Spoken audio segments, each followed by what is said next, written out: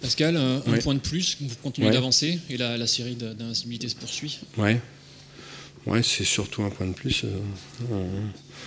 On, a passé la, barrière des, 30 points. On a toujours du mal à, aller de dizaine en dizaine.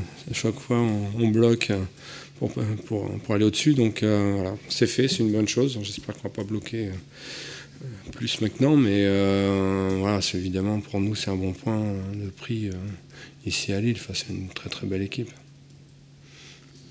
Votre sentiment après le match, est-ce qu'il y avait moyen de, faire un peu mieux ou est-ce que vous êtes très satisfait de Non, il faut être, objectif et correct. On a été, on a été dominé, euh, on a été parfois acculé, mais sans, sans de réelles très très grosses occasions. Nous, on tire deux fois sur, sur la barre, sur le poteau, et on a deux énormes occasions en deuxième mi-temps. Voilà, le résumé du match.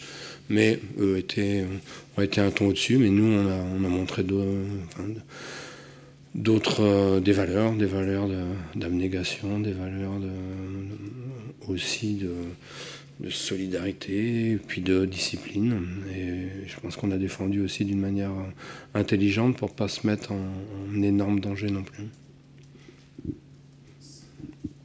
Deuxième clean sheet euh, de suite, voilà, cette équipe est solide. Oui, oui, oui. ça va, plus, plus on avance aussi de ce côté-là. Je pense que les joueurs ont envie d'aller euh, d'aller le plus haut possible, ils ont bien raison, et ça passe par, euh, par être solide défensivement.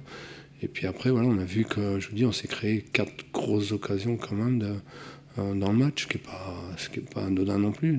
On est capable aussi de, de porter le danger euh, chez l'adversaire. Voilà. Après, euh, incontestablement, sont, euh, sont, un temps au-dessus, ce, ce, qui ce qui est légitime, ce qui est normal.